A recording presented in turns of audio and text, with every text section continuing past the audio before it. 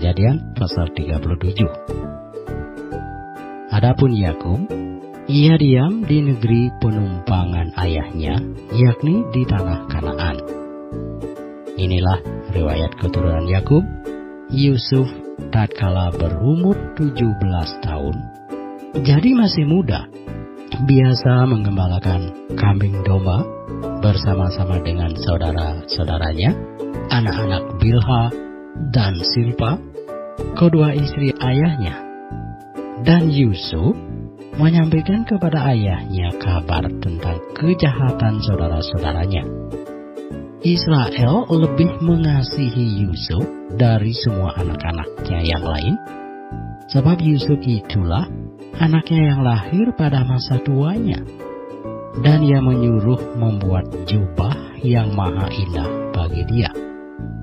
Setelah dilihat oleh saudara-saudaranya bahwa ayahnya lebih mengasihi Yusuf dari semua saudara-saudaranya, maka bencilah mereka itu kepadanya dan tidak mau menyapanya dengan ramah. Pada suatu kali, bermimpilah Yusuf, lalu mimpinya itu diceritakannya kepada saudara-saudaranya. Sebab itulah mereka lebih benci lagi kepadanya, karena katanya kepada mereka, Coba dengarkan mimpi yang kumimpikan ini. Tampak kita sedang di ladang mengikat berkas-berkas gandum, lalu bangkitlah berkasku dan tegak berdiri.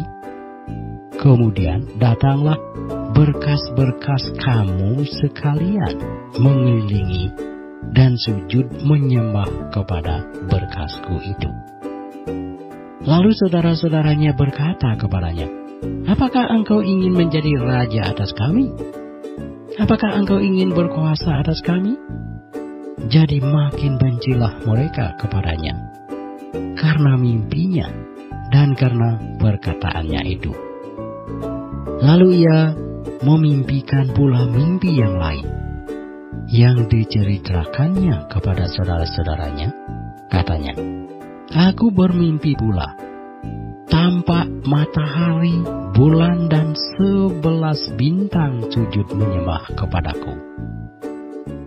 Setelah hal ini diceritakannya kepada ayah dan saudara-saudaranya, maka ia ditegur oleh ayahnya. Mimpi apa mimpimu itu? Masakan aku dan ibumu serta saudara-saudaramu sujud menyembah kepadamu sampai ke tanah? Maka iri hatilah saudara-saudaranya kepadanya. Tetapi ayahnya menyimpan hal itu dalam hatinya. Pada suatu kali, pergilah saudara-saudaranya menggembalakan kambing domba ayahnya dekat Sikem. Lalu Israel berkata kepada Yusuf, Bukankah saudara-saudaramu menggembalakan kambing domba dekat Sikem? Marilah engkau kusuruh kepada mereka Saud Yusuf, Ya Bapak. Kata Israel kepadanya, Pergilah engkau melihat apakah baik keadaan saudara-saudaramu dan keadaan kambing domba dan bawalah kabar tentang itu kepadaku. Lalu Yakub menyuruh dia dari lembah Hebron dan Yusuf pun sampailah ke Sikem. Ketika Yusuf berjalan ke sana kemari di padang, Bertemulah ia dengan seorang laki-laki yang bertanya kepadanya, Apakah yang kau cari? Saatnya, Aku mencari saudara-saudaraku. Tolonglah katakan kepadaku, di mana mereka menggembalakan kambing domba? Lalu kata orang itu, mereka telah berangkat dari sini, sebab telah ku dengar mereka berkata, marilah kita pergi ke Dotan. Maka Yusuf menyusul saudara-saudaranya itu, dan didapatinya lah mereka di, di Dotan. Dari jauh ia telah kelihatan kepada mereka. Tetapi sebelum ia dekat pada mereka, mereka telah bermufakat mencari daya upaya untuk membunuhnya. Kata mereka seorang kepada yang lain, Lihat, tukang mimpi kita itu datang Sekarang marilah kita bunuh dia dan kita lemparkan ke dalam salah satu sumur ini. Lalu kita katakan, seekor binatang buas telah menerkamnya. Dan kita akan lihat nanti bagaimana jadinya mimpinya itu. Ketika Ruben mendengar hal ini, ia ingin melepaskan Yusuf dari tangan mereka. Sebab itu katanya, Janganlah kita bunuh dia, lagi kata Ruben kepada mereka, janganlah tumpahkan darah.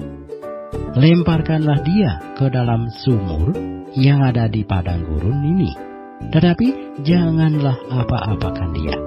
Maksudnya, hendak melepaskan Yusuf dari tangan mereka dan membawanya kembali kepada ayahnya. Baru saja Yusuf sampai kepada saudara-saudaranya, mereka pun menanggalkan jubah Yusuf, jubah maha indah yang dipakainya itu. Dan mereka membawa dia dan melemparkan dia ke dalam sumur. Sumur itu kosong, tidak berair. Kemudian duduklah mereka untuk makan. Ketika mereka mengangkat muka, kelihatanlah kepada mereka suatu kafilah orang Ismail datang dari Gilead dengan untanya yang membawa damar, balsam, dan damar ladan dalam perjalanannya mengangkut barang-barang itu ke Mesir.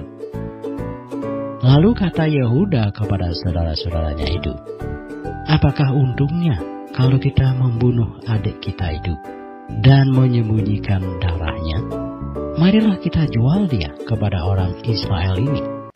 Tetapi janganlah kita apa-apakan dia, karena ia saudara kita, darah daging kita. Dan saudara-saudaranya mendengarkan perkataannya itu. Ketika ada saudagar-saudagar Midian lewat, Yusuf diangkat ke atas dari dalam sumur itu, kemudian dijual kepada orang Ismail itu dengan harga 20 sikal perak. Lalu Yusuf dibawa mereka ke Mesir. Ketika Ruben kembali ke sumur itu, ternyata Yusuf tidak ada lagi di dalamnya. Lalu dikoyakkannya lah bajunya. Dan kembalilah ia kepada saudara-saudaranya, katanya, Anak itu tidak ada lagi. Ke manakah aku ini? Kemudian mereka mengambil jubah Yusuf dan menyembelih seekor kambing, lalu menyelupkan jubah itu ke dalam darahnya. Jubah maha indah itu mereka suruh antarkan kepada ayah mereka dengan pesan, ini kami dapati. Silakanlah Bapak periksa apakah jubah ini milik anak Bapak atau tidak. Ketika Yakub memeriksa jubah itu, ia berkata, "Ini jubah anakku, binatang buas telah memakannya." Tentulah Yusuf telah diterkam. Dan Yakub mengoyakkan jubahnya, lalu mengenakan kain kabung pada pinggangnya, dan berkabunglah ia berhari-hari lamanya karena anaknya itu. Sekalian anaknya laki-laki dan perempuan berusaha menghiburkan dia, tetapi ia menolak dihiburkan. Serta katanya, Tidak, aku akan berkabung sampai aku turun mendapatkan anakku ke dalam dunia orang mati. Demikianlah Yusuf ditangisi oleh ayahnya. Adapun Yusuf, ia dijual oleh orang Midian itu ke Mesir kepada Putifar, seorang pegawai istana Firaun, kepala pengawal raja.